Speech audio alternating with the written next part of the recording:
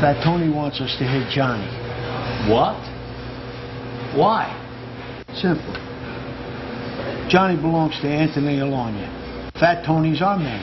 It's a power move for control over the docks.